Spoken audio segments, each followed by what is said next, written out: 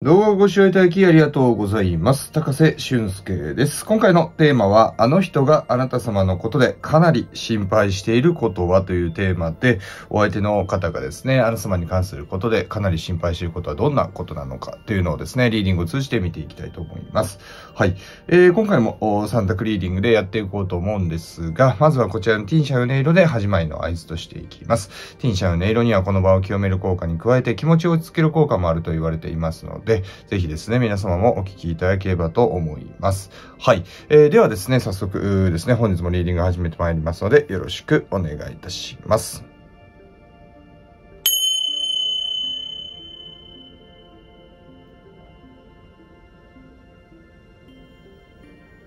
はい。えー、ではですね、早速リーディングに入ってまいります。選択肢ですね、左から A、B、C とさせていただいておりますが、それぞれのカードについてお伝えしていくと、まず A のカードです。A はこちらの Believe in Yourself というカードで、自分を信じるというカードです。カードが持つメッセージについては、あですね、選択肢の動画の中でお届けしていきたいと思います。はい。こちらが A になります。続きまして B のカードです。B はこちらですね。え、リラックス everything is OK ということで、え、リラックスすべてはうまくいくというカードになります。こちらが B になります。最後 C のカードです。C はこちらですね、チームワークっていうカードになります。まあ、そのままですね、チームワークというカードです。こちらが C になります。何か気になるものをお選びいただければと思います。はい。それではカードを選びいただく時間10秒ほど取りたいと思いますので、直感でカードを選びください。それでは、どうぞ。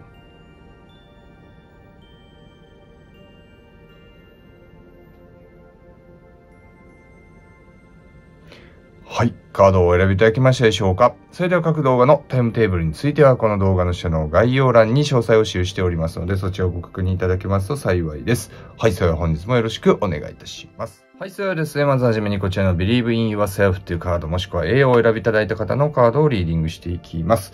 今回のテーマですが、あの人があなた様のことでかなり心配していることはというテーマで、お相手の方はどんなことで心配していらっしゃるのかっていうのを見ていきます。はい。えー、それに際しまして、まずはですね、お相手の方があなた様に今とっている行動や態度っていうのがどういうものか、そしてお相手の方がまだあなた様に伝えていない思いはどんなものか、そしてお相手の方があなた様のことで、えー、かなり心配していることっていうのを見ていきながら、今後ですね、お二人の関係は進展していくのか、それともこのままなのかっていうことですね。こちらも見ていきたいと思います。はい。ではですね、まずはじめにですが、お相手の方が今あなた様に対して取っている態度や行動ですね。そしてまだあなた様に伝えていない思いはどんなものか、そしてお相手の方があなた様のことでかなり心配していることってどんなことかっていうのを見ていきます。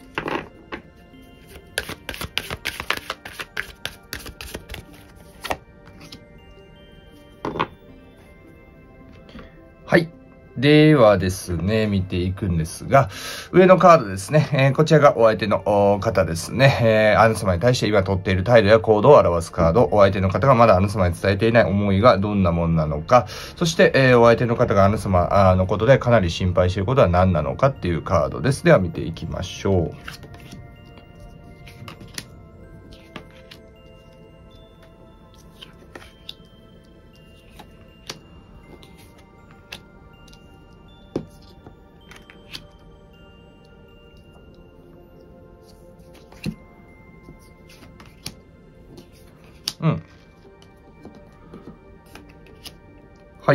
ではね、ちょっとこういったカードが出ていますが、ちょっと全体見させていただくと、そうですね、あの、まず、あなた様にね、えー、まだ伝えていない思いのところに、まあ、ラブとかね、愛に関するカードが出ているので、まあ、愛の気持ちっていうのをね、まだやっぱり伝えてなかったり、伝えきれていない。うん、まだもしかしたら一部分しかね、あの、伝えていらっしゃらないっていうところはあるのかもしれません。まあ、伝えるのを我慢しているというか、まあ、そんな感じにも見えるですね、えカードは出ています。で、そうですね、うん、かなり心配していることとしては、うん、なんかね、リスクを表すカードが出ているので、まあ、あなた様との関係や、あなた様と愛を育んでいくことの、まあ、リスクですね。何かしらリスクを伴う、まあ、関係性であったり、距離感であったりっていうところがあるのかなとも思うので、そこをね、かなり心配してるというか、まあ、そこを心配しすぎて気持ちを伝えられないでいるっていうぐらいでもあるかなと思うので、うん、ちょっとね、このあたりですね、それぞれのカードを見ながらお伝えしていきます。はい。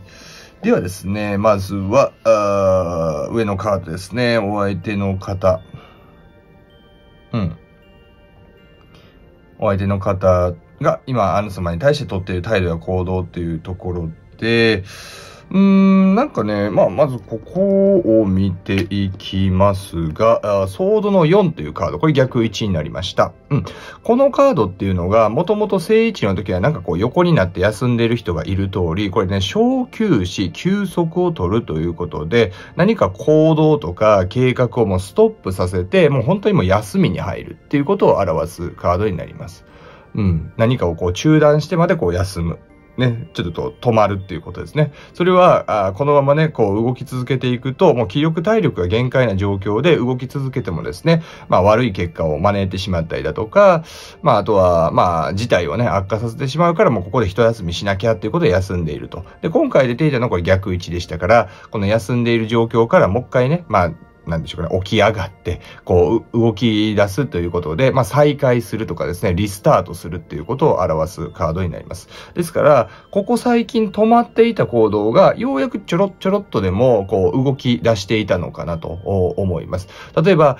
連絡をね、ずっとこう返してくれなかったのが、最近はちょっとこう、ちょろっとね、こう、動きがある。例えば、全くね、既読すらもつけなかったのが、既読はつけてくれるようになったり、なんかこう、スタンプとかは返してくれるようになったりとかね、なんか一言二たことは、なんか返してくれるみたいなね。なんかそういうちょろっとこう止まっていた行動が起こり出し始めているとかね。うん、まあ、連絡に限らず何かこう、まあ、コミュニケーションとかね、うん、アンスマに対する今まであった行動とかがちょっとずつこう動き出しているのかなと。うん。で、なんかそれにね、近いカードが実はもう一つ出ていて、えー、カップの5っていうカードですね。これ逆位置になりました。うん、このカードっていうのはもともと正位置の時にはなんかこうカップにね、えー、注がれていたこう水がこうこぼれちゃって、ああ、もうどうしようみたいな感じでね、もうなんかこう取り返しのつかない事態にちょっとこうショックを受けていたり、もうリセット、せっかくね、ここまでカップを運んできたのに、まあ途中でこぼしちゃってまた最初からみたいなね、そういうリセットを表したり、何かが台無しになるっていうカードなんですが、逆位置になるとですね、うん。再生復活っていうことであったり、どん底からの再起ということで、まあどうしようもない状況を作ってしまったんだけれども、それをもう一回受け入れてですね、よし、じゃあもう一回大変だけれども、こっからやり直していこうみたいな意味で、まあ再生復活、どん底からの再起っていう意味なんですね。だから、まあこれも、だから少しずつ、あなた様への行動や態度がちょっとこう復活しだしてきた。うん。まあ、ちょっとずつこう、ね、もともとは優しかったのが急に冷たくなってみたいなね、そういう変貌を遂げていたとするならば、ちょっとずつまた優しかった時のお相手の方が、なんかこう取り戻されてきたというか、復活してきたというかね。うん。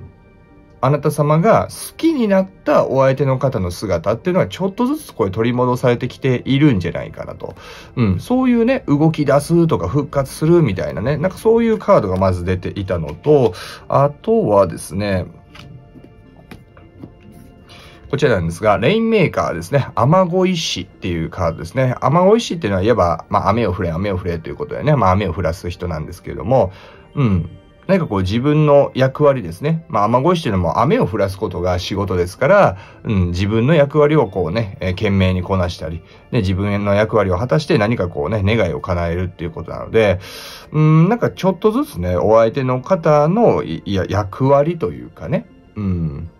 っていうものをしだした。例えば、まあ、あなた様とお相手の方が彼氏、彼女さんというね、カード、あカードじゃない、関係だったとするならば、うん、例えばまあ、お相手の方がね、彼氏としての立場なんだったらば、彼氏としてすべきことをちょっとずつ再開しだしたとかね。うん、まあ、彼女っていう場合もしかりですけれども、うん、あるいは、まあ、彼氏彼女という関係性じゃなくてね、例えばまあ、二人がまあビジネスパートナーっていう関係性かもしれません。その中で、まあ、お相手の方に割り振れ、割り振っている、まあ、業務とか、作業とか、そういったものをね、ちょっとずつこう再開しだしたとかね、うん、なんかそういうふうなね、自分の持ち回りをちょっとずつこう、やり始めるようになったみたいな、なんかそういうね、うん、態度や行動が見受けられるんじゃないかなと思います。うん。で、えー、その中でですね、うん。お相手の方がまだあなた様に対して伝えていない思いというところの中に、まずここが出ていて、ラブっていうカードですね。うん。愛というカードが出ました。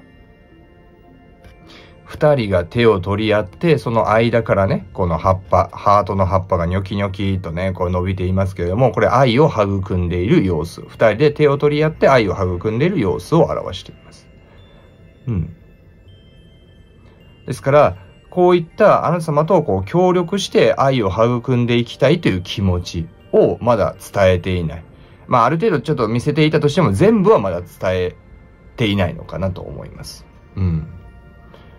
どこかこう、愛している気持ち、愛を育んでいきたいという気持ちを伝えずになんかこう自分の心の中にしまっているというか抑え込んでいるというような、まあそういう状況なのかなと思いますが、心の中ではすごくあなた様のことを愛していたり、あなた様と愛を育んでいきたいという気持ちを持っているというカードがもう一つ出ているんですね。それがこちらになってですね、えー、カップのナイトっていうカードが聖地です。これもね、なんかこう、バラの花束を持ってね、なんかこう、まあ、告白であってプロポーズでもしそうなね、えー、人が描かれていた、まあ、ラブレターとかも実はここにね、描かれてたりするんですけれども、このカードっていうのが、聖一の時には、まあ、情熱的とかロマンチストっていう意味もあるんですが、愛に関するアクションを起こすっていうカードになるんですね。愛を進めたり、愛を深めたりするアクションということで、それこそまさに告白とか、プロポーズっていうことであったり、気持ちを伝えるとかね、胸の内を明かすということで、まあ、胸の内って何かっていうと、この先ほどラブっていうのがありましたから、やっぱりね、愛する気持ちをあなた様に打ち明けたい、伝えたい、本当はこれぐらい好きなんだとか、これぐらい愛しているんだ、思っているんだ、みたいなね。うん。そういったことを本当はまだ、なのかな、伝えてはいないけれども、心の中では思っている。うん。っていうところがあるようなので、うん、実は心の中で結構ね、あなた様のことを、すごくね、思っていらっしゃると思うんですが、まあ、伝えていない理由はここに出ているかなと。まあ、ここと次のね、ブロックでも出ているんですが、エンプレスっていうカード、女帝っていうカードがこれ逆位置でした。うん。で、このカードっていうのは、もともと正位置の時に愛とか愛情を表すカード。まさにね、愛を表すカードなんですね。で、正位置だと、まあ、愛に溢れる暮らしとか、愛に豊かな生活ということですごくね、愛に満ち溢れた、まあ、穏やかで平和な暮らしを送れるっていうことを表すんですが、逆位置になるとですね、愛情問題におけるトラブルっていうことで、恋愛にまつわる何かこうトラブルが起こってしまうんじゃないかっていうことであったり、満たされない心っていうことで、あなた様のことは愛していたり、好きなんだけれども、その好きであるあなた様の心を自分では満たすことができないんじゃないかという懸念、心配を抱いていらっしゃったり、満たすことができなくて、それによって大好きなあなた様と、なんかこう恋愛に絡む問題で揉めたり喧嘩したり、なんかこう争ったり、ね、なんかすごく嫌な雰囲気になっちゃうんじゃないかっていうところを今の段階でもすでに恐れているからなかなか伝えるに伝えられないわけですね。うん。あなた様と愛し合う関係になっていきたいけれども、実際に愛し合う関係になることで、今はまだ起こっていないような、れあの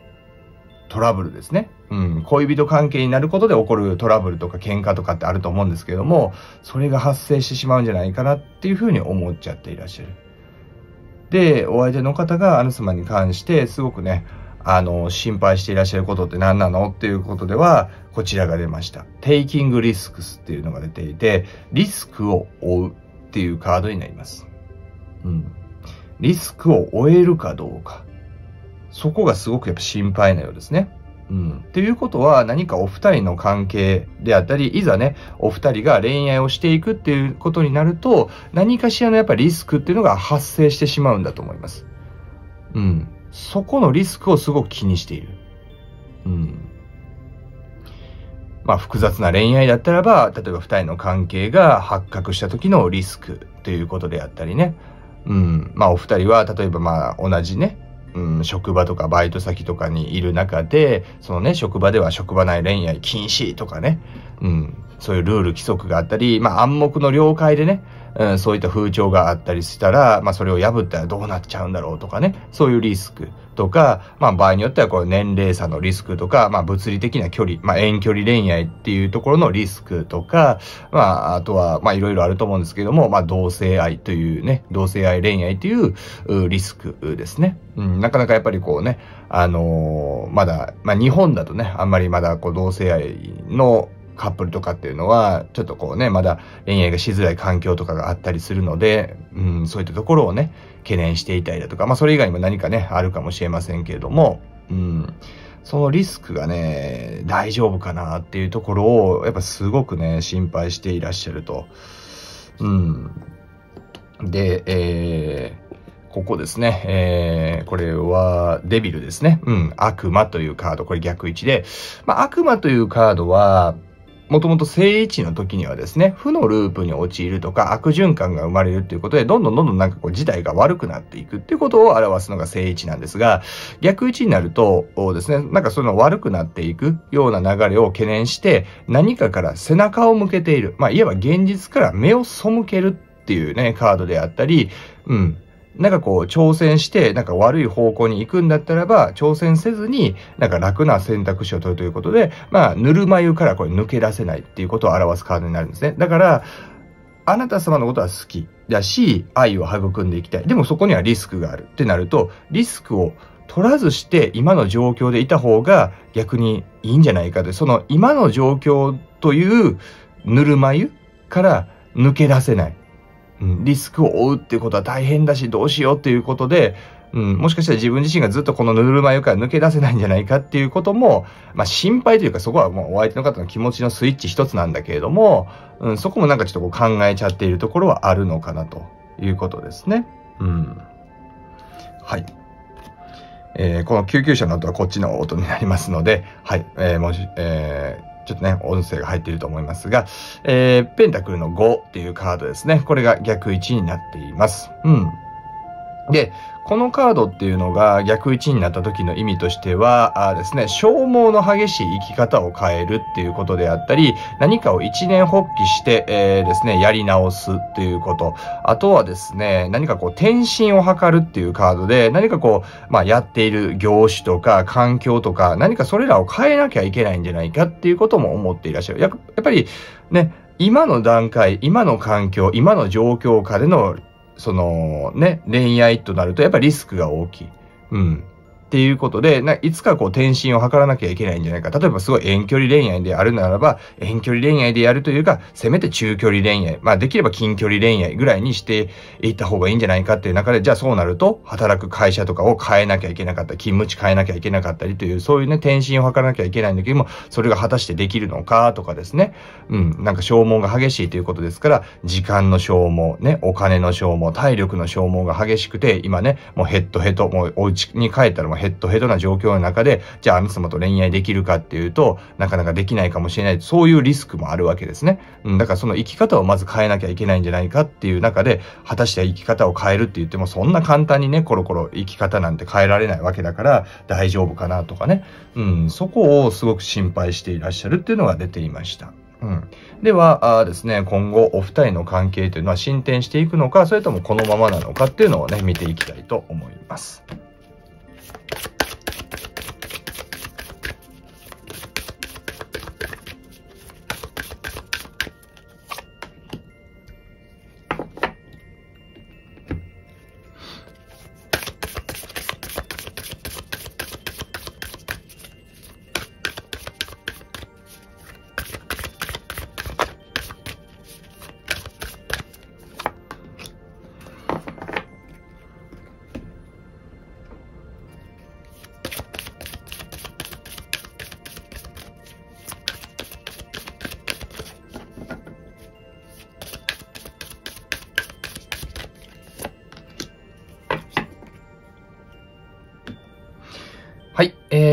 ね、見ていきましょう。お二人の関係は今後発展していくのか、それともね、えー、このままなのかっていうカードです。うん。うん、なるほど。まあちょっと不思議なカードの組み合わせかなと思います。はい。うん。なるほど。うんうんうん入れましたかね。はい。えー、では見ていくと、えー、まずですね、ちょっと出たカードを見ながらお伝えしていくと、まずここが出ました。インクリーズっていうのが出たんですね。インクリーズっていうのは、まあ何か増えていくとかね、増加するっていうことで、うん、今よりも何かは増えていくのかなと思います。うん、例えば、会える頻度とかですね。うん。まあ、お相手の方の中での、まあ、すでに気持ちはね、あの、愛してる気持ちを持っていらっしゃるっていうことでしたから、その気持ちが今よりももっと増えていく。あなた様のことを愛する気持ちが増加していくとかですね。うん。あとは、お二人の間でのやりとり、連絡のやりとりとか、コミュニケーションの機会とかが増えていくとかですね。うん。まあ、何かしらこうね、えー、なんでしょうかね、こう、進んでいく中でね、いろんなこの、なんかこう、宝石みたいなのがありますけども、いろいろこうね、えー、嬉しいことがこう増えていくっていうのは出ているんですね。うん。ただ、そういった、例えばまあ会える頻度とかコミュニケーションの機会とかが増えていくにあたっては、ディセンドっていうのが出ていて、これはですね、うん、なんていうかな、降りるっていうことなんですね。まあ、階段の降り、上り下りで考えてほしいんですけども、リセンドっていうのはどっちかというと、こう階段を下っていくみたいなイメージ。で、これ反対語が、まあ言えばこうアセンドってことで登っていくっていうことなので、何かこうちょっと下の段にね、こう降りようとしている人が描かれているわけなんですが、何かを増やすためには何かをね、何かから降りなきゃいけない。とか、何かを減らさなきゃいけない。っていうところが出ているんですね。うん。だから何かを減らしたり降りることができれば、まあ降りたり下がることができれば、うん。二人の関係は進展していくということなんですね。だから、代償は伴うのかなと。二人の会う機会とかを増やしていくんだったらば、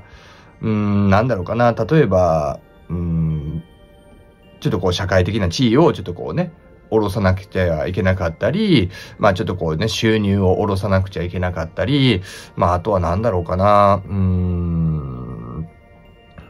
何かのね、会う頻度と同時に何かの頻度を今度は下げなきゃいけなかったりとかね。ここれができれば、二人の関係は進展すると。うん。だから、何かを上昇させながら、お相手の方との接触頻度とかも増やす。これはちょっと難しいのかもしれません。だから、増やすには何かを減らすっていうことが、もう常に伴ってくる。ので、そこができれば、お二人の関係は進展するし、うん、ちょっとこうね、泣く泣く減らさなきゃいけないものを減らすことができなかったり、ね、降り降りることができなかったら、今の状態っていうのが、続いてしまう。それはまあやっぱりリスクを気にして今の関係性に留めてくるのかなと思うので、お相手の方がね。うん。だから何かを下げていくってことはすごく大事なのかなということと、あとは look to your inner strength ということで、内なる自分、内なる強さに目を向けるっていうカードになります。なんか水晶玉を覗いてる人がいますけれども、この水晶玉に映ってる人っていうのは心の中の自分を描を表していて、その心の中の自分と向き合っているっていうことでね。まあ、you are stronger than you realize ということで、あなたは自分がね、認識しているように強いということで、うん、だからまあ、なんだろうかな。自分はお相手の方の、お相手の方との恋愛をしていくだけのね、まあ、資質であったり、まあ、たくましさを持っているから、まあ、どんなことでもやっぱこう乗り越えていくんだっていう、まあ、そういったね、まあ、覚悟を持って、覚悟だとか決心をして、まあ、何かをね、下げていく。まあこれはあなた様だけが下げればいいことではないと思います。もしかしたらお二人が共に下げなきゃいけないことなのかもしれないけれども、まあそういった覚悟、ね、そこまでしてでもやっぱお相手の方とね、愛を進めていきたいという覚悟をこう決めることができれば全然進展はしていくよっていうところが出ているので、うん。だからなんかもう本当にこう下げたら上がるみたいなね。うん、下げたら増えていくみたいな、まあそういった流れでこう進展はしていくのかなと思うので、まあ進展するか、まあ、このままであるかっていうのは、どちらかというと、時の運とか運命の流れというよりかは、その、自分たちの行動次第で、こう、進展速度というか、進展量がこれ変わってくるっていうのが出ていましたので、うん、参考にしていただけますと幸いです。はい。では最後ね、あなた様に向けたアドバイスのカードも見ていきます。あなた様がよりね、こう幸せをつかむためにはどういったことが重要になってくるのかということで、えー、アドバイスカード引いていきます。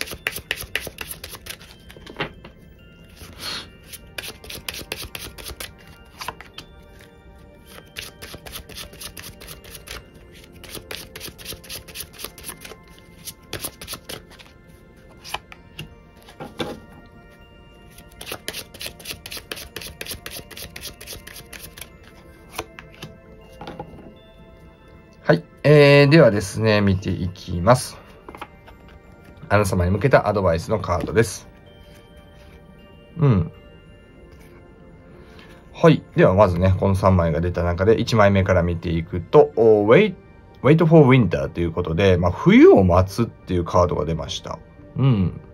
冬を待つっていうことは、冬にね、何か大きな流れを迎えることになっていたり、冬にね、まあ、大進展というか、急展開とかね、まあそういったところを迎えていくのかなと思うので、まあただ冬が来るのを待つだけじゃなくてね、冬に状況が大きく動いてもいいように、今から準備を進めていくと。いうことがすごく大事になってくるのかなと思います。まあ冬のシーズンということですから、まあ大体、まあ11月、まあ11月のまあ後半ぐらいから、まあ12月、1月、2月ぐらいですかね、うん、がまあ冬と言えるかなとは思いますから、まあそのタイミングでね、うん、状況がどんどんどんどんこう動いていくんだと思いますので、そこに向けた、あね、今からまあ準備であったり、種まきであったりね、まあそういったところを今からしておくっていうのはすごく大事なようですし、あとは、あピュアリティっていうのが出ていますけれども、これは純粋さ、純真さっていうことですね。まあ純粋な心で向き合うっていうことも大事なようです。うん。まあ、いわばこう、濁りなきね、えー、もう綺麗な心っていうことなんですけども、何かこうちょっと濁っているような心で向き合っていては、なかなかね、こう、あなた様が望む進展であったりね、えー接近であったりっていうのができない。例えば、濁っている心って何かっていうと、うん、ちょっとこう何でもかんでもやっぱこう疑ってしまうような心であったりね、うん、なんかこう裏を読んでしまったり、足、なんか上げ足を取ろうというようなね、えー、気持ちであったり、まあ、あとは、ちょっとこう、まあ、喧嘩越しのね、気持ちであったり、まあ、怒りとかね、嫉妬に狂っているような、あ気持ちであったり、まあ、そういったね、ものではなく、本当にこう純粋に、まあ、言えば子供のようなね、うん、ピュアな心でこう接していくっていうこともすごく大事なようですので、うん、これもね、まあもしかしたらまあ冬までの間にね、そういった心で接していけば冬に大きな出来事を迎えていくっていうことでもあると思いますから、うん、ここも大事かと思いますし、あとはモデレーションっていうのが出ていまして、これはね、うん、適切な量っていうことを表します。多すぎることもなく、少なすぎることもなく、本当にちょうどいい量を心がけていった方がいいということですね。これ全てにおいてそうしていった方がいいのかもしれません。うん。まあ、お相手の方にまつわることですね。例えば、話す量もね、あなた様ばっかりが話すんじゃなくて、まあ、話した分、こう聞くっていうことで、まあ、ちょうどいい量ですね。にしていったり、まあ、メッセージのボリュームもね、あの、テトリスの長い棒ぐらいにね、LINE をブワーって送るんじゃなくて、適切な量ですね。受け取る側がこう読みやすい適切な量にしていくとかですね。うん、連絡の頻度もこうね、あなた様はもっと本当はやりとりのラリーをしたいけれども、まあ、お相手の方の忙しさとかを考えると、まあ、これぐらいがちょうどいいかなっていうふうにこう、抑えたいだとかね。うん。まあ、そういった風に、まあ、お相手の方に関することもそうだし、あなた様に関することもモデレーションにしていった方がいい。例えば、まあ、食事の量とかもね、食べ過ぎたりだとかね、逆にまあ、痩せなきゃと思って食べなさすぎたりしたら、そういうね、あなた様の身も心もね、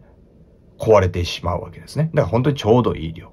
うん。まあ、お酒の量とかもちょうどいい量にね、こうしていくっていうことがすごく大事なようですから、うん、これもね、えー、アン様にとって今大事なメッセージになってくると思うので、参考にしてあげればなと思います。最後は選択肢のカードです。えー、Believe in yourself っていうカードで、自分を信じるっていうカードです。このカードのメッセージとしても、See see yourself doing well and you will ということで、うん、自分自身がね、うまく何かをやっていることをですね、まあ想像して、実際想像すれば、うん、それが実際に起こると。うん、だから自分ならうまくいけると、うまくやれるということをね、信じていれば実際にうまくやれるわけです。うん。だからあとはもう自分、あなた様が自分自身を信じるということだけ、うん、が大事になってくるんだと思うので、まあこれもね、今のあなた様にとってはすごく大事かなと思いますから、参考にしていただけますと幸いです。はい。ということで、えー、A をですね、お選びいただいた方お疲れ様でした。今回の動画少しでも役に立てれば幸いです。はい。えー、また今回の動画は全体に向けたリーディングとなっておりましたが、何かね、特定の方とのお悩みであったり、あとはですね、なかなか人には相談しにくいこととかもあると思います。そういった方に向けて、現在個人鑑定も行っておりますので、興味のある方は動画の下の概要欄をご覧いただけますと幸いです。はい。えー、その他あですね、現在、えー、オンラインサロンというのもやっておりまして、オンラインサロンではリクエストいただいたテーマによりますリクエストリーディングですね。まあ、YouTube ではなかなか扱わないようなテーマでもリーディングをさせていただいたり、限定のライブ配信ではですね、皆様からのリクエストを受けて、えー、これもね、リアルタイムでその場でいろんなテーマを占わせていただいているだけでなく、まあ、ライブ配信をしているのはオンラインサロンのみとなりますので、普段ね、YouTube では話さないことも話しながらざっくばらんに和気あいあいとですね、盛り上がらせていただいているんですが、そういったライブ配信のほか、理解するのが難しかったりする男性心理についてですね、解説したコンテンツなどもお届けしているので、こちらも動画の下の概要欄に詳細記しておりますが、現在は無料でお試しいただける期間も設けておりますので、興味のある方はですね、ぜひチェックしていただけると嬉しいです。はい。それでは今回ですね、最後までご視聴いただきありがとうございました。また次の動画でお会いしましょ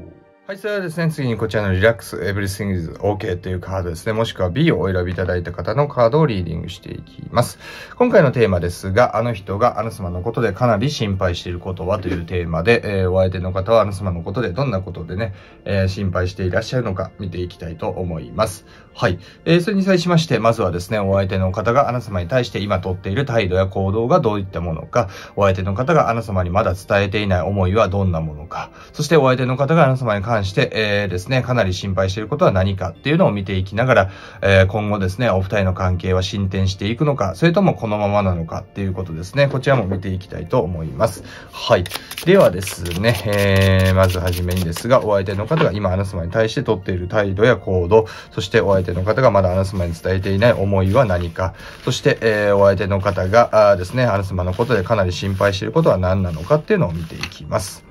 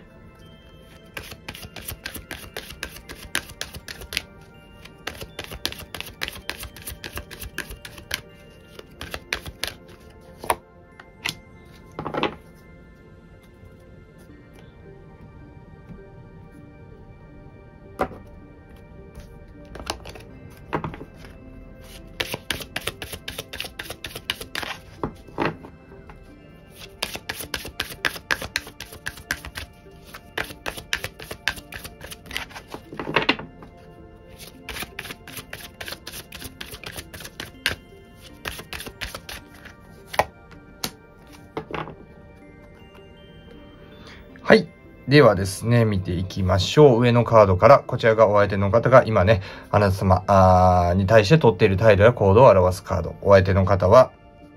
え、ですね、えー、お相手の方がまだあなた様に対して伝えていない思いは何かというカード。そして、こちらがお相手の方があなた様のことでかなり心配していることは何かっていうカードです。では見ていきましょう。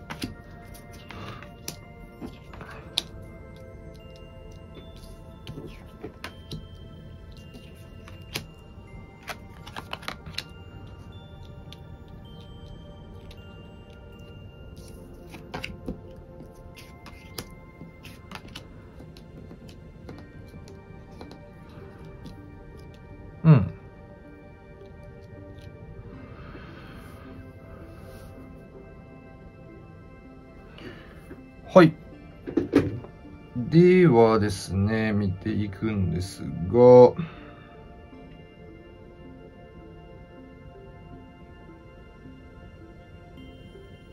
うん。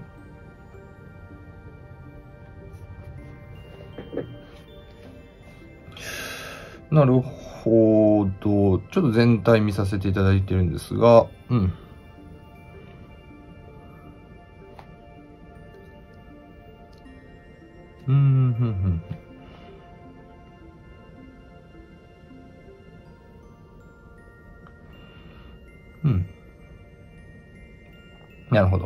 とですね、まず、今、お二人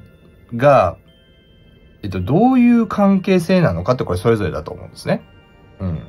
けれども、その関係のままでいたいかっていうと、そうではなくて、なんか関係性は変えたいって思っていらっしゃるんですね。うん。今以上に。うん。今以上に変えていきたいんだけれども、うーん、なんていうかな。まあ、タワーっていうのが出ていて、まあ、崩壊破壊っていうカードになるので、今以上の関今がすごくもしかしたらベストバランスかもしれないから、今以上になってしまうことで、なんかすぐに二人の関係が崩れて気まずくなったどうしよう、みたいなところをすごい心配していらっしゃるようなので、うん、ちょっとね、このあたり見ていきます。まず上のカードですね。えー、お相手の方が今、あなた様に対して取っている態度や行動っていうことなんですが、うん、なんかね、今、それこそすごいね、あなた様が心配になるような状況なんじゃないかなというのが出ていて、ワンドの10っていうカード、これ逆位置になりました。うん。これね、なんかすごい荷物持っていると思うんですね。うん、牛にもなんかすごい荷物を負わせているっていうことで、なんかこう、たくさんのものをこれ背負っているっていう状況なんですね。うん、ですから、まあ、たくさんの、まあ、プレッシャーとか責任とかね、まあ立場とか地位による重圧とかね、まあ例えばやらなきゃいけない、まあタスク量とか作業量とかね、うん、なんかすごい多くのものを抱えて、なんとかこれやっていけているのが正位置です。で、逆位置になるともうちょっとやっていけていない状態っていうのを表すカードになるんですね。うん。なので、うん、ちょっとこうね、まあキャパシティオーバーな状況になっているっていうことであったり、うん、まあ気を抜けない、油断できない状況っていうことを表したり、あとはですね、まあ自分の、まあ抱える以上のものを押し付けられている。例えばまあ責任を押し付けられているとかね。なんか本来は他の人がやらなきゃいけない、まあ業務を押し付けられているとか。うん。まああとは何でしょうかね。他の人が、まあ追うべき、まあプレッシャーとかね。うん、期待をお相手の方が今負わされている。急遽ね。なんか他の人がまだなんか突然辞めたりして、お相手の方になんかそのツケが回ってきてるみたいな。うん、なんか今そういう状況なのかなと。だからあの様から見ても結構、あ、かわいそうやなっていうね、うん、ふうに思ったりだとか、ちょっとこれ大丈夫かもうこのまま行くとお相手の方が潰れちゃうぞ、みたいなね、ちょっと心配になるようなムーブを取っていらっしゃるんじゃないかなと。うん。まああんまり口とかには出さないかもしれないけども、心ではめっちゃ多分疲れてるんだろうなとかね、しんどいんだろうなっていう雰囲気が伝わるような、様子を多分あなた様に見せていると思うんですね。うん。で、ミスティカルシャーマンっていうのが出ていますけれども、うん。まあ、このカードっていうのがですね、正位置の時にはあですね、何かに、ま、固執せず、執着しないで生きるっていうことで、うん、なんかね、まあ、多分疲れているからだと思うんですけども、あ、なんかもうもっと楽な生き方がいいなとかね、うん、なんかもう今の仕事もしんどすぎるから、もうやめてなんかこう、ね、なんかこう、自然溢れるところでなんかこうもうね、スローライフを送りたいなとかね、なんかそういう発言というかね、うん。なんかもう明らかにもうしん、しんどいな、みたいなね。うん。別にこれが、なんかこう、かまってちゃうんでね。あのー、あなた様に心配してほしいとかね。なんかこう、気を引きたいとか、そういうものというかは、もう本当に心の根っこから、まあ多分疲れているんだと思うので、なんかそういう発言をしていたりね、あなた様に聞かせたりしているのかなと。うん、いうふうに思いますが、うん、そんな中でもですね、こう、ヒエロファントっていうのが出ていて、これ、法王っていうカードですね。法王。法王というのはですね、人に正しい道を説く人物っていうことで、まあ人に例えばまあ的確なアドバイスをしたり、正解を導き、導いてあげてですね、まあ誰かをこう良い方向へと導いていく人っていうことで、まあそういった疲れている中でも、例えば、うん、なんだろうかな、あなた様が、お相手の方に何かこう質問したり、まあ相談したら、まあそれは、まあそう、こういう風なやり方の方がいいんじゃないとか、こういうね、えー、道がいいんじゃないとかね。まあそういうアドバイスはしてくれている。みたいなね。うん。まあアドバイスってほどではないのかもしれないけども、なんかなんかこう助言とかね。うん。はしてくれていたりもするんじゃないかっていうのが出ているので、うん。だからまあ、ちょっとね、お疲れの様子がだいぶ見受けられるのかなと思います。うん。で、そんな中でね、まあお相手の方としては、あなた様に対してまだ伝えていない思いっていうのがどういったものなのかっていうことなんですが、まずこちらのカードから見ていくと、ソードの6っていうカードが正位置です。このカードっていうのが正位置になった時の意味としてはですね、進路変更、方向転換、路線変更ということで、まあ今まで進んできた道であったり、まあ今後の方向性をこれ変えていきたいっていうことを表すカードなんですね。うん。だから最初にも、まあ、お二人の関係をこのままでいいというよりかは、何か違った方向に進めていきたいっていうふうに思っているっていうカードなんですね。で、このカードには、まあ、ゆっくりとでも好転を目指していくっていうことですから、あなた様との関係を、まあ、悪い方向とか、悲しい方向に変えていくというよりかは、まあ、いわばこう、ね、先に進んでいく方向に変えていきたいっていうふうには思っていらっしゃる。けれども、それはまだ伝えていないわけですね。うん。実際にお相手の方の中のビジョンでは、あなた様との関係の進路変更を起こすのは、ブロッサムっていうのが出ていますけれども、これは花開く、開花するっていうことで、何か自分自身のものを開花させたときですね。例えば自分の才能を開花させたときとか、能力を開花させたときとか、うん。まあ、あとは実力を開花させたときとか、自分の、まあ、例えば今、携わっているものとか、えー、なんだろうかな。関わっているものが開花するっていうのは、例えばそれがなんとかうまくいくとかね。うん。そういった開花、花開いた時ですね。に、あなた様との進路変更を起こしたいと思っているから、まだこのね、ブロッサム、まあ開花するっていうことが起こっていないから、まだ伝えていないわけですね。うん。そういった、なんかすごくお相手の方にとって、まあ、お相手の方の状況が開花したようなね、もう本当にようやくこう花開いたみたいな状況になったら、進路変更をですね、また違った関係性へと進んでいきたいなっていうふうに思っていらっしゃるということと、ワンドの4ですね、これが逆位置になっています。うん。このカードっていうのが、あですね、まあもともと正位置の時には二人がね、こう近い距離で過ごしていて、なんかこうダンスを踊っていますけれども、このカードが正位置の時には安心安堵っていうことで、まあ近い距離にいてもね、すごくこう安心できるような状態であったり、まあ安堵ですね、まあホッとできるような状況を表したり、あとは信頼できるパートナー、まあ、お互いのことを信頼しているから近くにいてもすごく快適に過ごせたり、まあ居心地の良さとかね、くつろぎの環境っていうことを表すんですが、逆位置になると今ね、ちょっとこう近くにいても、まあ心が落ち着かないっていうわけではないんだけれども、ちょっとやっぱ気まずさをやっぱあなた様に対しては感じていらっしゃる。それは、あの、なんかあなた様が嫌だなとかじゃなくて、あなた様が、例えば望んでることを今してあげられないしてあげられてなかったと思うんですね。例えば会いたいって言ってもごめん、ちょっと忙しくて会えないんだっていうことで、なんかこうお願いを聞けなかったりね、予定をキャンセルしてしまっているっていうことの気まずさもそうだけれども、まあ、罪悪感とかね、心苦しさみたいなね、そういったところを感じてちょっとこう安心できていないんだけれども、うん。まあ自分も安心できないし、あん様の心も安心させられていないなっていう実感を持っていらっしゃるわけだけれども、まあそんな中でもあな様のことを冷めたんじゃなくて、ちゃんと開花したら、うん、進路変更を起こし、うん、あな様の心をちゃんと安心させていきたいなっていうふうには思っていらっしゃる。うん。そういった思いを、まあ思っているんだけれども、あな様には伝えていない。で、えー、次ですね。うん。お相手の方があなた様のことで、えー、まあ、心配してることですね。っていうのが何かっていうことなんですが、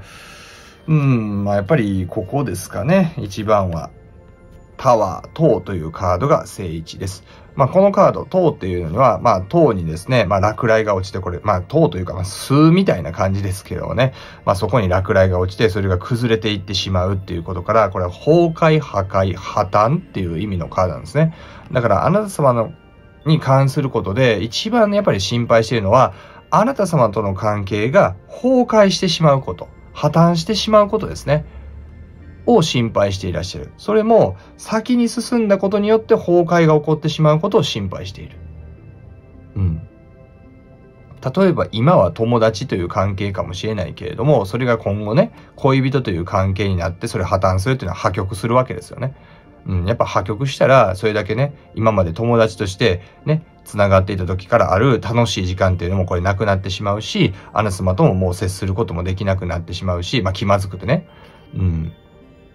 とか、まあ、いろんな代償がやっぱ大きいから、まあ、先に進んだ時に壊れてしまったらどうしようとかね、先に進むこと自体は嬉しいことなんだけども、先に進んでしまったことによって、うん、終わりが近づいてしまったらどうしようとかね。うん。だ始まる前からなんかこう壊れてしまう時のことを想像してすごくこう心配になっていらっしゃる。だからそういうね、なんて言うんでしょうか、心配性なところが結構あるんだと思います。何事もそうなのかなと。うん、恋愛に限らず何かが新しいことを始める時に関しても、なんかこう、うまくいかなかった時のことをどうしても想像しちゃって、なんか何かが始められないっていうのは、もしかしたらお相手の方のあるあるなのかもしれません。うん。ね、引っ越しとかも引っ越し、え、先で、ね、なんかこう隣人に変な人がいたらどうしよう、どうしようと思って、結局引っ越しできなくてずっと同じとこにいるとかね、転職とかも、ね、転職したところが馴染めなかったらどうしようと思って転職できないとか、なんかいろいろね、うん、新しいこと始められなかったりする方なのかなと思うんですが、ここもそうですね。カップのクイーンっていうカード。これが逆位置で、うん。このカードは、まあもともと正位置の時に、まあ、愛を注ぐっていうことであったり、愛を交わし合うっていうことを表すカードなんですね。まあ、お互いに愛を交わし合って、えー、大切なね、関係が育っていく、育、育てられていくっていうね、カードになりますが、逆位置になると、期待外れな反応ということであったり、うん。まあ、あとは嫌な予感の的中とかですね、愛の傷ということを表すカードになります。うん。だから、やっぱりね、まあ、進路変更というのも愛を深めていく方向で進路変更していきたいわけですが、実際にじゃあ愛を深めようと試みた結果、ね、まあ嫌な予感というのはこう崩れてしまうことが的中したりだとか、うん、まあ期待外れの反応ですね。うん。例えばまあ恋愛関係になっていた時に、あの様がこうなってくれるみたいなね、そういう期待があったけども、それと違った反応されたらどうしようとかね、なんかこうお付き合いをした途端になんかこう本性が出てきて、なんか違う姿になったらどうしようとかね。かそんなとこまでも考えなくていいとこまでも多分考えちゃって、なんかこう、どんどんどんどんこうモチベーションをね、自分で下げちゃう方だと思うから、なんか結構心配性なところ、あなた様が思っている以上に細かいところも多分ね、心配していらっしゃるんだと思います。うん。で、あとは、こちらですが、ポテンシャルですね。まあ、二人の関係のポテンシャルも結構心配していらっしゃる。大丈夫なのかなとかね。今は、なんかこう、相性の良さとか、今だ、今の段階だったらば、やっていけるかなと思ってるけれども、実際に二人の関係のポテンシャルは今どれぐらいあるのかなとかね。うん。二人が共に過ごしていけるだけの、なんでしょうかね、気持ちの強さであったり、ね、関係性の、なんだろうかな、こう、耐久性とかもあるのかなとかね。うん。で、二人のかん将来のポテンシャルとか可能性は今どれぐらいあるんだろうみたいなね。うん。いや、そういったところを気にしているから、まあもしかしたら、まあ、お相手の方もね、まあそういったあなた様との未来みたいなところで、うん、結構占い動画とかももしかしたら見ていらっしゃるかもしれないですが、それぐらいね、なんかこう先の可能性とかね、壊れてしまうことになったらどうしようとかね、うん、そういうことを結構心配していらっしゃるようです。ではですね、まあ、今後お二人の関係はあ進展していくのか、それともこのままなのかっていうのを見ていきます。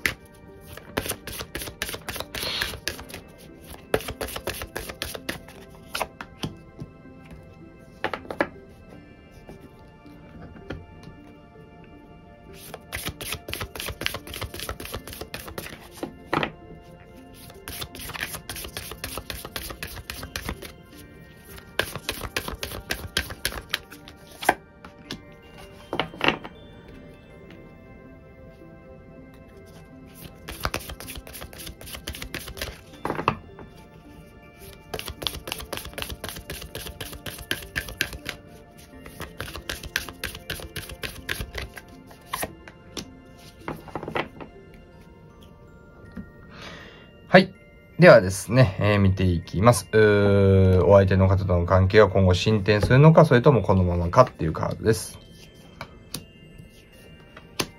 うん。なるほど。えー、進展はあるかなと思います。あ、ちょっと見切れてましたね。はい。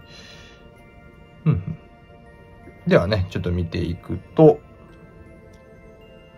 はい。まず進展をね、表すカードから見ていきましょう。えー、New Supportive Connections っていうカードで、新しい支え合うつながりということで、まあ今までとはちょっと違ったね、新しく、まあ新しい支え合う形として二人が繋がっていく。それこそ、今は例えば何なのかなまあ友達としてとか、ビジネスパーソンとあ、ビジネスパートナーとしてとかね、何かこう、例えば習い事の、まあ同志としてとかね、仲間としてとか、なんかそういった形で今支え合っているのかもしれません。それとは違った、また新しい支え合う関係。それが例えば彼氏、彼女とかね、うん、いう関係性であったり、まあ交際、ね、恋人同士なんだったら、それが例えば夫婦とかですね。うん、まあそれ以外にも何か違った形っていうのはもしかしたらあるのかもしれないけれども、うん、何かね、今までとは全く新しく支え合うつながりとして、二人が、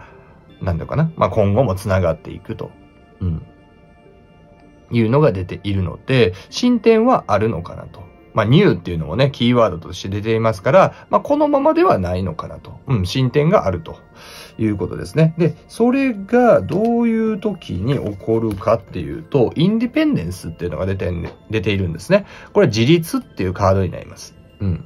まあ、巣の中にいるひな鳥がこれからね、巣立ちをしてですね、自立しようとしているように、何かこう自立という現象というか、うん、何かから自立した時ですね。まあ、それこそお相手の方が何かから自立する時ですね。うん。まあ、もしかしたら今会社にね、お勤めだったらそこから自立して、まあ、独立するっていうこともあるかもしれないし、別にそういうわけじゃなかったとしても、今のね、会社から別の会社にこうね、今の会社にこう依存していたところからこう自立してまた別の企業とかにね、勤めるとかですね。うん。まあ、あとは今、例えばちょっとこう、まだ実家暮らしとかだったら、それが一人暮らしになった時とかですね。うん。まあ、あるいは何だろうかな。ちょっとこう何かね、まあお金の面であなた様からね、こう依存してしまっているんだったらあなた様からのお金を借りずに、ちゃんと自分だけでやっていけるという意味で自立するとかね。まあ、それあなた様にもしかりです。うん。あなた様自身が何かこう自立できた時とかね。経済的自立なのか、うん、なんでしょうか、人間的な、精神的な自立なのか、まあいろいろな自立あると思うんですけども、それができた時に二人の関係が進展していくよ。まあそういったカードが出ています。で、もう一つのカードは、そのね、進展をしていくためには、ここですね。be willing to express love っていうカードが出ていて、積極的に愛を表現するっていうカードが出ているんですね。だから、今の関係性から、その、新しいね、関係性になっていくためには、うん、すごくこう、なんでしょうかね、こう、言わされた感じじゃなくて、自分から、自らね、うん、こう、愛を積極するっていう行為が必要になってくる。うん。だから、もし、あなた様がお相手の方にね、何かこう気持ちを届けたい、伝えたいっていうふうに思うんだったらば、思っていらっしゃるんだったらば、それは自立した後ですね。まあ、あなた様が自立した後に伝える。もしくはお相手の方が自立した後に、あなた様の方から気持ちを伝えれば、それがね、ちゃんと受け取ってもらえて進展につながるだろうし、うん。もしくは、まあ、お相手の方がね、自発的にあなた様に気持ちにを伝えてくるのかもしれないですが、それも、やっぱお相手の方が自立できた時、もしくはあなた様が自立した時に気持ちを伝えてこられて、で、新しい関係に発展していくっていうことだから、だから、まあ、転機となるのはこう自立ですね。うん。のタイミングだと思いますから、あなた様がもしね、何か、何かから自立しなきゃいけないような立場なんだったらば、まずは二人の関係に進展を起こそうとするよりかは、ちゃんと自立できるような努力っていうのをされていった方が、まあ、関係の進展へは近道になってくると思いますから、ちょっとそこをね、意識していただいた方がいいかと思います。では今後ね、えー、あなた様がよりこう幸せになっていただくためのアドバイスカードもね、最後見ていきたいと思います。どんなことをね、えー、行動していけばいいのか、意識していくのがいいのかっていうことですね。こちらを見ていきます。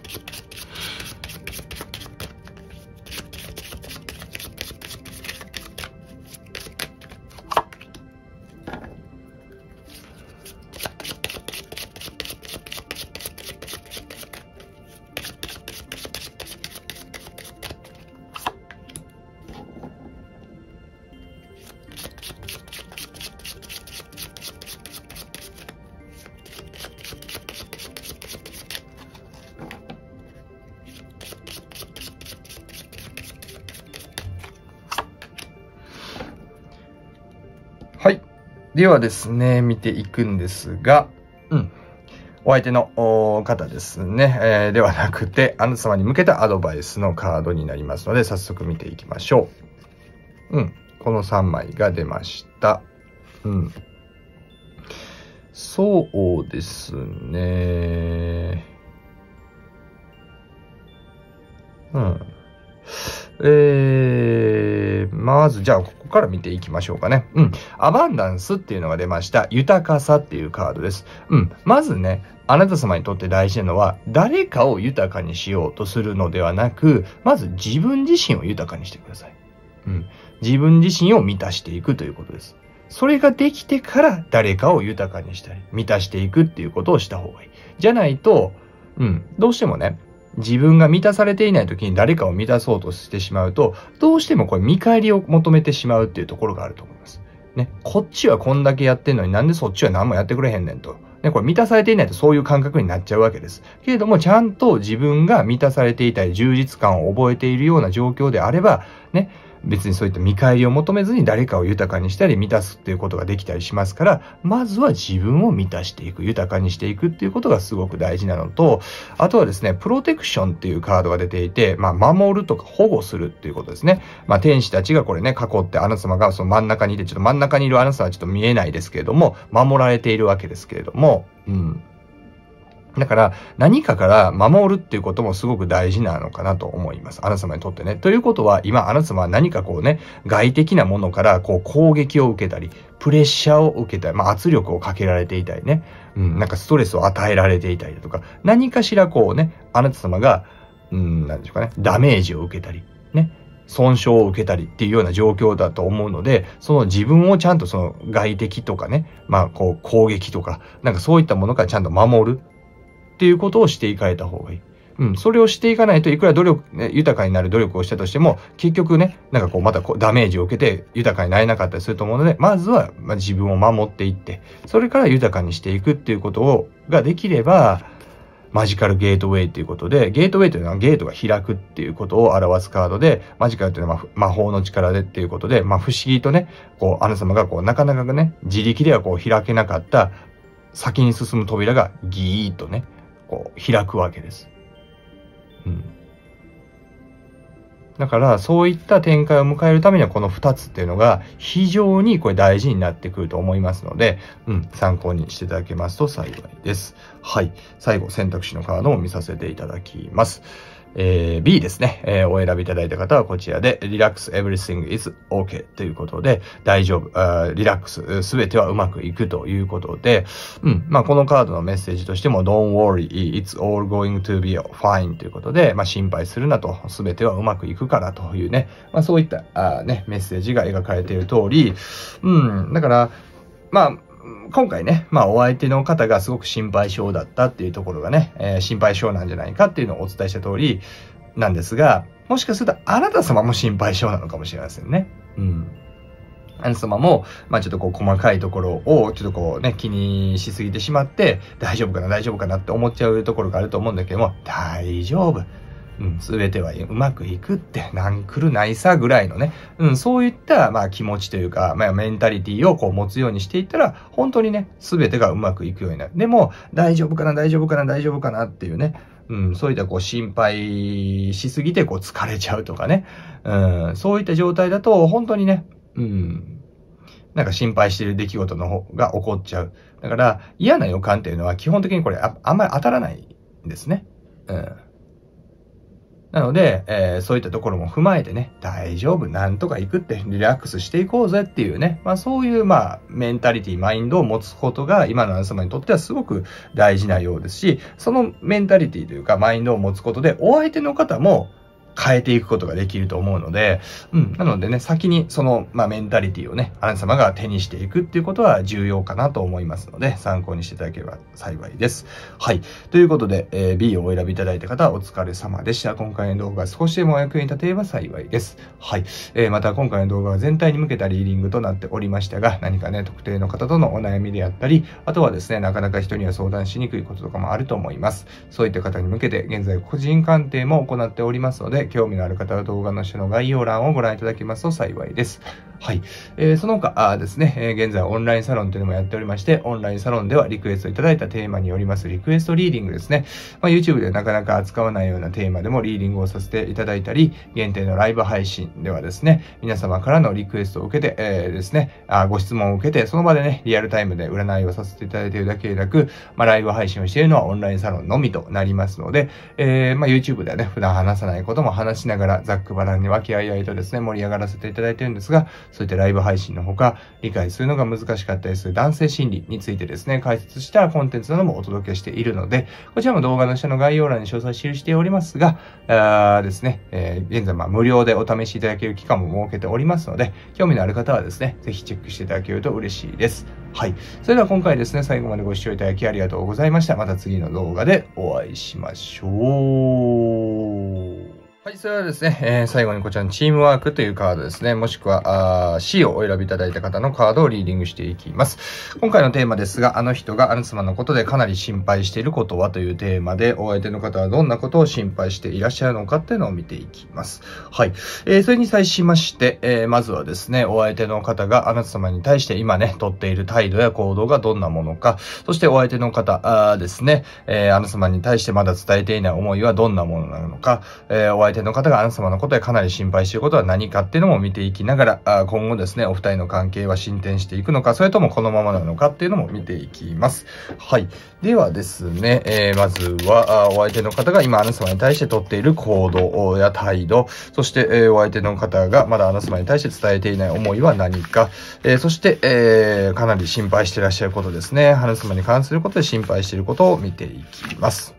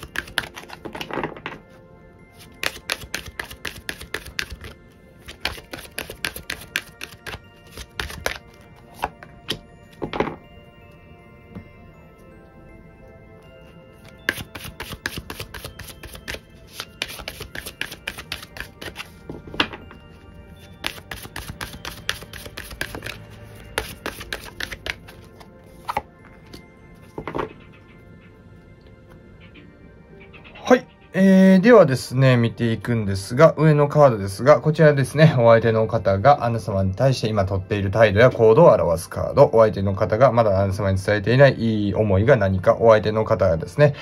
あなた様のことでかなり心配していることって何なのかっていうカードです。では見ていきましょう。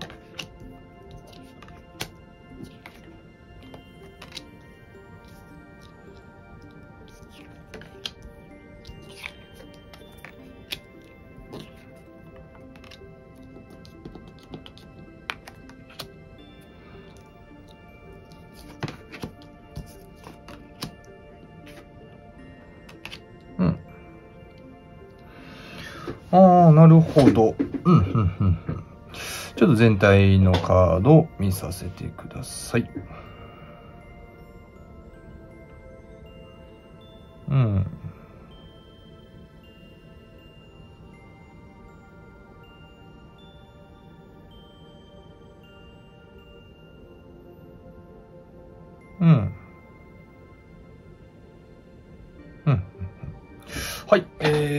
ですね、見て、あっとすいません。えー、見ていくんですが、うん。まず、ですね、まあ、なんて言ったらいいのかな。まあ、お相手の方は結構、まあ、頑固なとこあるのかなという結果がまず見受けられるのと、うーん、なんていうかな。まあ、あなた様に対してね、まあ、ちょっと伝えた言葉っていうのを未だに貫いているというか、うん、そういったところがあると思うんですが、まあ、未練とかをね、表すカードも出てきていますので、うん、まあなんか本当はね、まあアヌスマのところに戻りたかったり、よりを戻したかったりね、えー、なんかそういう気持ちっていうのはあるのかなとは思うので、うん、ちょっとこの辺り見ていきたいと思います。はい。えー、まずね、えー、上のカードから見ていきます。お相手の方、アヌ様に対して、えー、今取っている態度や行動を表すカードなんですが、まずここですね、えー、見ていくと、Seer っていうのが出ていて、これは予言者っていうカードになります。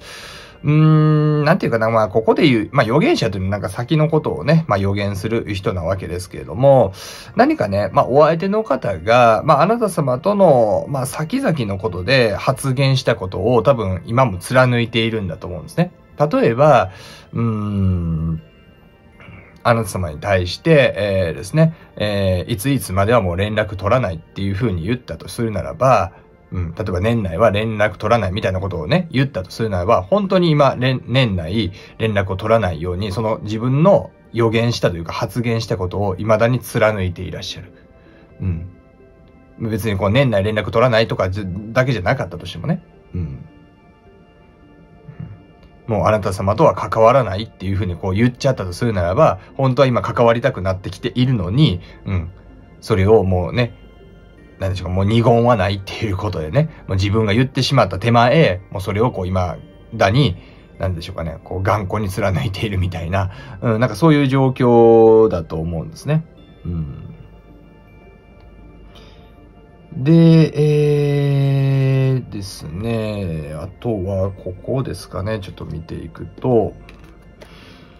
えー、これはワールドですね。うん、世界というカードがこれ逆位置で、世界というのは、まあ、正位置の時に理想の世界が作り上げられるっていうことで、夢や理想の実現っていうことであったり、まあ、何かこう、まあ、まあ、理想をね、まあ、完成させるとか、夢を完結させるとかね、えー、まあ、目標の達成とかね、歓喜の瞬間を迎えるっていうことを表すカードになるんですが、逆位置になるとですね、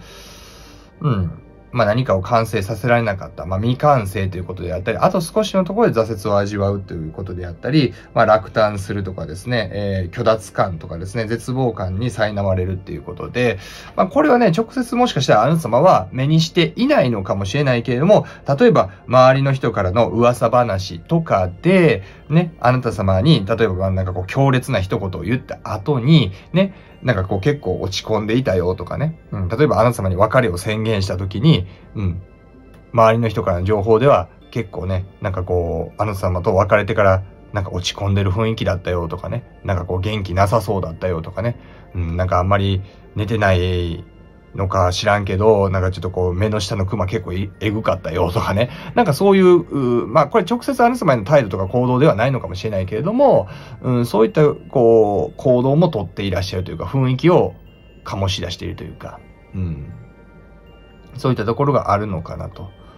いうことか、もしくはね、うん、あなた様と例えば関係が続いていた時にはもともと何かをね、完成させる、完結させるよっていうのを宣言していた。うん。例えば、あなた様とはもう結婚していくよとかね。絶対付き合っていくよとかね。付き合ったらこれこれこれをしていくよみたいなことを言ってたけども、結局それ完成させられなかった不甲斐なさとか、まあそれを完成されな、させな、させられなかった悔しさとか未練があるから、未だになんかこうね、あなた様に、例えばもう関わらないとか言いつつも、ちょくちょくあなた様のことを気にしているのか、例えば SNS では足跡ついていたりだとか、うん。なんかこう、あなた様のところをちらっと様子見に来ていたりだとか、そういったことももしかしたらしているのかもしれません。うん、それは、ここですね、見ていくと、運命の輪っていうカードが出ていて、運命の輪っていうのは、まあ、運命というキーワードがありますから、運命を表すカードになるので、どこかしらやっぱりあなた様には運命的なものを感じているからなんだと思います。うん、例えば深い縁を感じていたり、あなた様には、こう、例えば運命的な出会いを果たしたから、あ、この人が自分にとっての運命の人なのかもっていう風な思いがあるから、未だにね、なんかこう、未来に対して強烈なことを言った後でも、やっぱ気になって、ちょくちょく気にしてしまうみたいな、なんかそういうね、うん、まあ、態度とか行動とかもとっているんじゃないかっていうのが、まず見受けられました。うん。で、えー、ですね、次にいいですが、お相手の方ですね、えー、まだあなた様に伝えていない思いっていうのが何かっていうと、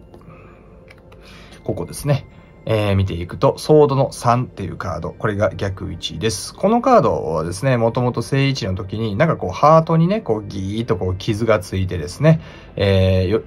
傷がついている様子から、これ心の傷っていうことで、これ昇進っていうことを表したりだとか、まあその下にはね、なんかこう泣け叫んでいる人がいる通り、うん、まあ、悲しみを覚えるっていうね、まあ深い悲しみを覚えるっていうカードになります。で、逆位置になると、その、まあ、心の傷であったり悲しみが言えるんだけれども、どこかこうね、まだ思いを寄せる部分があるということで、これ未練があるっていうカードになるんですね。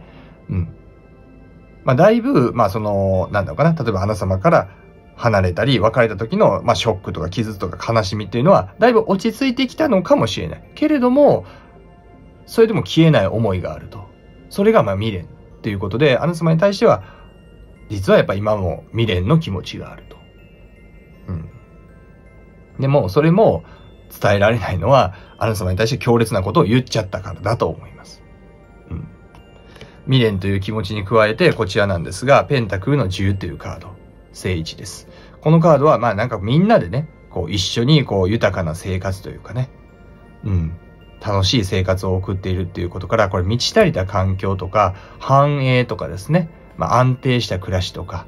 うんまあ、あとは、まあ、平和と安らぎを得るっていうこともそうだし、うん、まあ、あとは、そうですね、より良い人間関係を築くっていう意味もあるんですが、なんかね、またあなた様と、もしかしたらあなた様以外の、まあ、誰か、まあ、子供たちっていうのももしかしたら含まれているのかもしれないですが、まあ、ペットっていうのも描かれていますからね。らみんなで、また、なんかこう、一緒に楽しく幸せに過ごしたいっていう思いも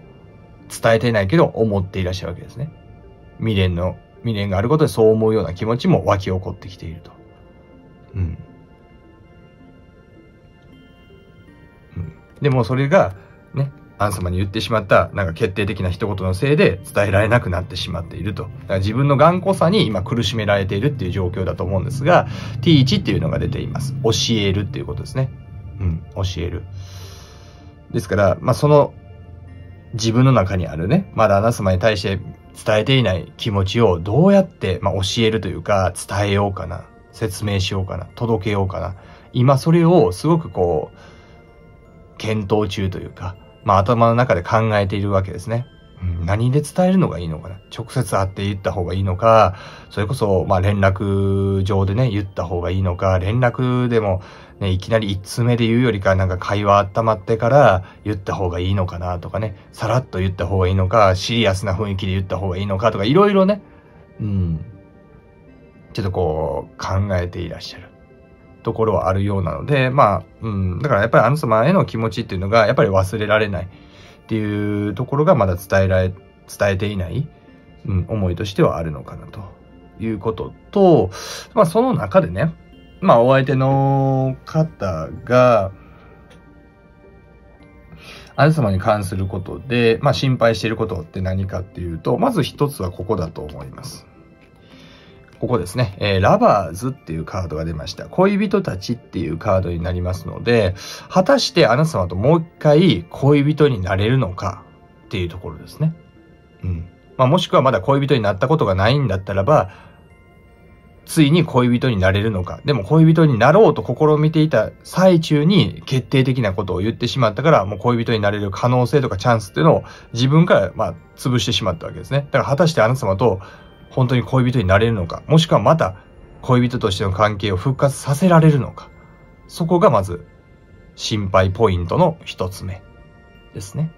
うん、自分はあなた様に対して未練はあるけども、もうあなた様にはもう何の未練もないかもしれない。自分に対するね。うん。なんならもう次の恋に進んでいるかもしれない。あなた様はね。うん。そういったところもあって、あなた様と恋人になれるのかという心配ポイント。もう一つは、その恋人になった後ですね。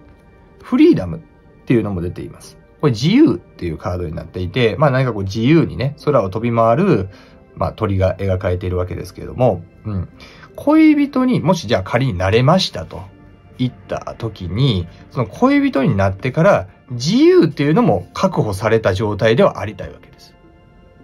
うん。ガッチガチに、もうな、いつ何時も恋人のことを最優先というよりかは、まあ、恋人の時間も大事にしながら、例えば自分のプライベートも自由に過ごせるような自由は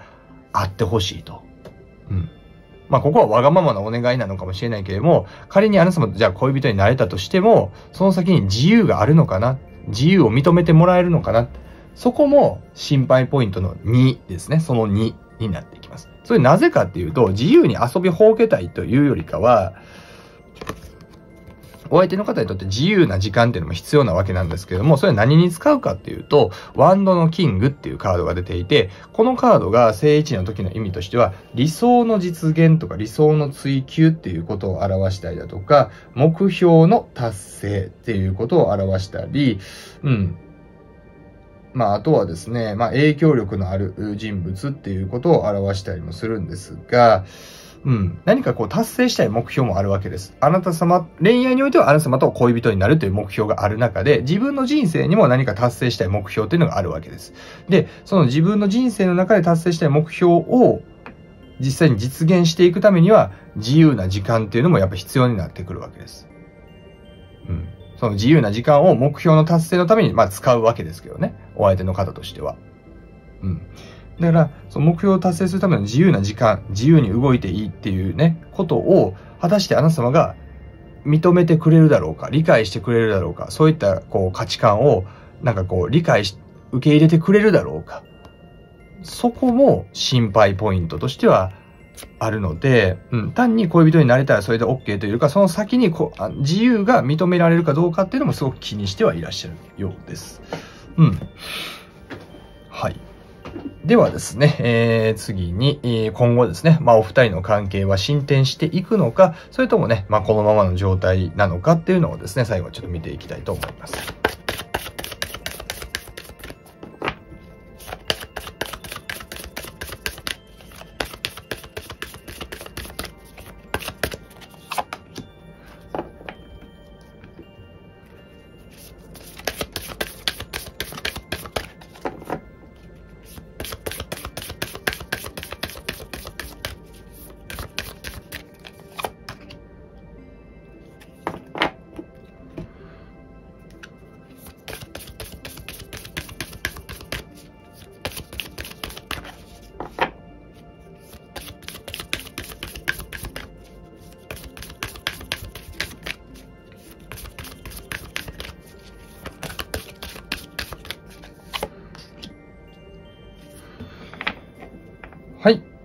はですね、えー、見ていきたいと思います。お二人の関係は、あこの先、進展があるのか、それともこのままなのかっていうカードです。では見ていきましょう。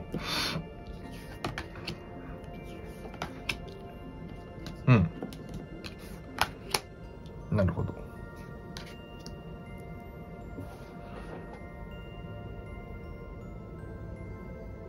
うん。なるほど。えっとね、出た結果としては、まあ、ここのままというか、これまでの流れを繰り返しちゃうよっていうのが出ました。うん。その、なんだろうかな。二人のうんお二人の関係の特性であったり、特徴であったり、まあ、あとはリズムであったり、いつものパターンであったり、流れっていうところをちゃんと把握して向き合っていかないと、ずーっと同じ流れを繰り返しちゃうよ。うん。だから進展がないままね。うん。っていうのが出ているんですね。なので、ちょっとこのあたり見ていくと、まずここですね、ステータスコアっていうのが出ました。これ現状維持っていうカードになります。うん。だから、これ絶対にっていうわけじゃなくてね。うん。しっかりと変えるべきところを変えていったり、改善するべきところを改善していかないと、良くて現状維持。うん。進展ではなくてね。良くて現状維持。場合によっては、ここが出ていて、the end っていうのが出ているんですね。終わる。っていうのも出ています。で、もしかするとお二人のこれまでではちょっとこうお伝えしてなかったんですが、まあこれらが出たっていうことは今までにおいても、何でしょうかね、何でしょうか、関係が終わってはまたこうくっついて、で、またしばらく仲良い時期があって、でもまたこう喧嘩して終わって、で、またくっついてという、なんかその同じ流れっていうのを繰り返していたんじゃないかなと思うんですね。うん。それを今後も繰り返しちゃうよっていうのが出ています。終わっては始まって、終わっては始まって、くっついては離れて、くっついては離れて。うん。同じ流れを繰り返す。もしくは良くても、現状維持。うん。になってしまうと。じゃあ、その同じところをずっとぐるぐるぐるぐる回っているところから、スポッとこうね、抜け出すためにはどうしたらいいかっていうと、まあ、いわゆる、進展を起こすにはどうしたらいいかってことですね。うん。ここですが、えー、リレーションスリップパターンズっていうカードが出ていて、うん。関係性のパターンっていうのが出ています。だから、二人の関係性がいつもどういう風な、まあ、パターンかっていうところまずね、客観的な視点、俯瞰的に見てこう理解していかなくちゃいけない。例えば、いつもこれぐらいの時期、ね、仲良くなってもう一回じゃあ関係スタートしました。でも、いつもこれぐらいの時期の時に喧嘩起こって、で、いつもそれでこう別れるな。もうなんかもうパターンっていうのが出てきていると思うんですね。二人の中で。今までこうお付き合いしてきた中でいろんなデータであったりパターンっていうのがもうパターン化されてきているものがあると思うからそこをまず理解していく。じゃあいつもこの辺でこのぐらいの時期で喧嘩してしまうんだったらばじゃあこの辺の時にちょっとこう意識を高く持ってねいつも起こるような喧嘩が起こらないようにしていこうとかね対策が打てるわけですよね。パターン化していたりデータがもし出ているんだったらば。で、このカードのメッセージとしては、It takes strength to recognize the need for change っていうことで、変化への質、変化への必要性を認識する強さが必要ですと。ということは、二人の関係を進展させるためには何か変化をしていかなきゃいけない。変化させていかなきゃいけないと分かりつつも、それを多分実行していなかったから同じパターンを繰り返していたんだと思うんですね。だからこそ、ここでね、何かを変えていかなくちゃいけない。接し方なのか、距離感なのか、それこそね、違った価値観をね、ぶつけ合うんじゃなくて、すり合わせて、合うところはあって、認めるところは認めるとかですね。今までとは何か違った変化っていうのをやっぱもたらしていかないと、同じパターン、ループをね、ずっと繰り返すだけになっちゃうから、うん、やっぱ変えていくっていうことがすごく大事なようですので、それを変えていけばようやく同じループから抜け出して進展が起こるっていうのが出ていましたので、まあ、そこができるかどうかで進展が起こるかどうかっていうのが変わってくるようです。はい。ではね、最後ですが、あなた様に向けてのアドバイスのカードということで、今後ね、あなた様としてはどうしていくのが良いのか、何をね、していくのが大事なのかっていうのをですね、見ていきたいと思います。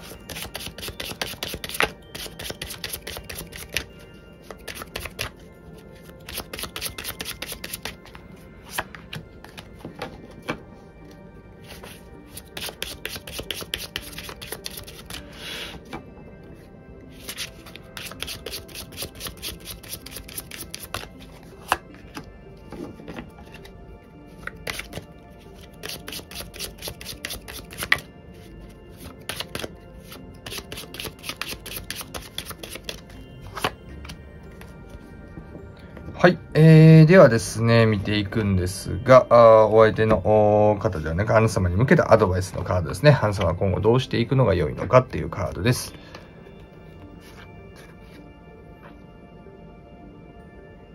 うん。はい。ではちょっと見ていきましょう。まず一つ目、ファインドバランスっていうのが出ました。バランスを見つけるっていうことで、ちょっとね、まあ、あなた様としては今バランスが崩れてしまっている可能性があるのかなと思います。何かに対してちょっとこう力を入れすぎていたりするので、いい意味でちょっとこう力を抜いて、他のところに力を入れていくとかですね。うん。そういった、まあ、バランスをね、しっかりと見つけていくっていうことが大事なようです。うん。まあ、そういった意味でちょっとバランスをね、ちゃんと見つけていかないとなかなかね、じゃあどこを変えればいいのか。先ほどね、変化を起こしていくってことが進展につながるっていうことがありましたけれども、力を入れすぎていたり、気合をね、入れすぎていたりすると、やっぱりね、こう視野が狭くなって、どうしてもね、新しい発想ができなかったり、周りが見えなくなると、何を変えていいのかわからなくなる。だから、いい意味でちょっとこう力を入れすぎていたことを気を緩めて、力を抜いてですね、うん、取り組んでみると、ああ、ここ変えればよかったんじゃんっていうことでね、案外あっさりとね、解決策とかも見つけられたりもするのかなと思うので、まあそういったね、まあバランスをまず見つけていきましょうねっていうのが出ていました。あとはムーンエナジーっていうのが出ていて、まあ月のエネルギーということですね。まあ月のエネルギーを浴びていった方がいいということなので、まあ夜にはね、あんまり何か作業とか考え事とかはしない方がいいと思います。せずに、まあ月の光を浴びるぐらいにですね、うん、なんかこう、あんまりこう、活動的になるんじゃなくて、おとなしくね。うん。まあ、例えば、ぼーっとね、月とか星を見るとかね。まあ、都会だったらあんま星とか見れないですけども、うん。まあ、星を眺めてる時ってなんかこうね、ちょっとこう、ある意味、頭の中を空空っぽにこれできると思うので、うん。まあ、そういった形でね、何かこう、考え事とか、うん、活動とかは、夜の時間じゃなくてね、朝の時間とかにしていった方がいいアイディアがね、思い浮かんでくると思うし、もう夜はね、もう本当におとなしく過ごした方がいいよっていうのも出ていました。うん。あとはね、ネイチャーズサインっていうのが出ていて、えー、自然のサインですね。うん。今後、あなた様の目の前に自然からのサインっていうのが送られてくると。うん。例えば、風向きとかですね。うん。まあ、あとはなんかこう自然が、うん、なんだろうかな。なんかこう、あなた様にこっちだよっていうようなね、そういうサインをもたらしてくれる。うん。例えば、あなた様が何かね、実行しようとした時に、外が大雨だったらば、それはやめといた方がいいよっていうことで、ね、自然がそれを止めてくれているわけです。逆に、あなた様が何かしようかな、やめとこうかなっていうのを悩んでいる時に、外がね、すごくこう、いい、なんで晴天になってね、それこそ虹とかがかかっていたら、その行動を起こした方がいいよっていうね、起こしたら幸せになれるよっていうサインであったりね。うん。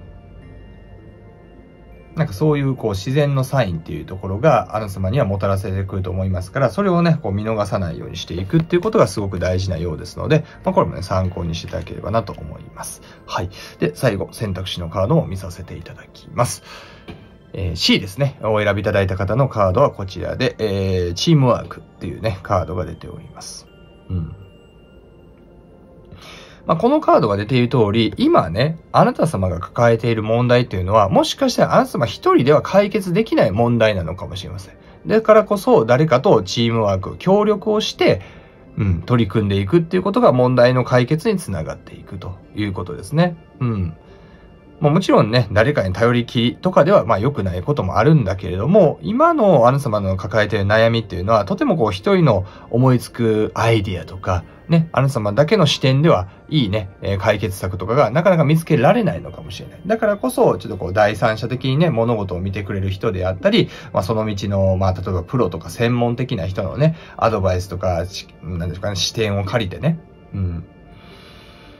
解決していったり、まあ協力してね、まあお友達とかにももしかしたら協力してもらわないといけない部分もあるのかもしれないから、だからこそね、チームワークを今大事にしていく。チームでこう解決していくんだっていう感覚で取り組んでいくと、うん、アンスマが思っている以上にね、問題は早く解決できたり、うん、意外な発想をね、受けて、あ、そうすればよかったのかっていうことで、それがね、まあ解決の糸口になっていったりもするかと思いますので、うん、だからそういった意味ではね、このチームワークっていうのもすごく大事なようですが、何でしょうかね、単独行動とかね、孤立、無縁になっていくのではなくね、ちょっと協力していくっていうのがすごく大事なようです。今こそね、まあ人脈を使ったりだとか、うん、まあ、人からの力をこう借りるっていうことが大事なようです。はい。ということで、最後 C ですね。お選びいただいた方、お疲れ様でした。今回の動画少しでも役に立てれば幸いです。はい。えー、また今回の動画は全体に向けたリーディングとなっておりましたが、何かね、特定の方とのお悩みであったり、あとはですね、なかなか人には相談しにくいこととかもあると思います。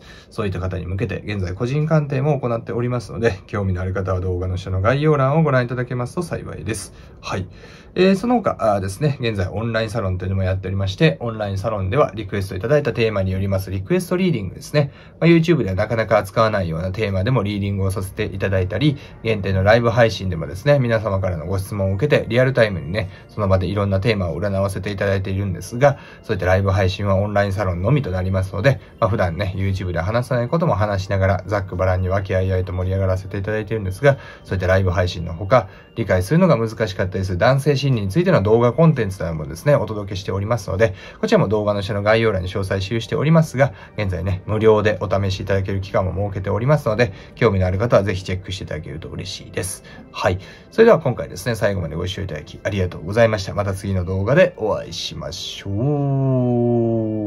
う。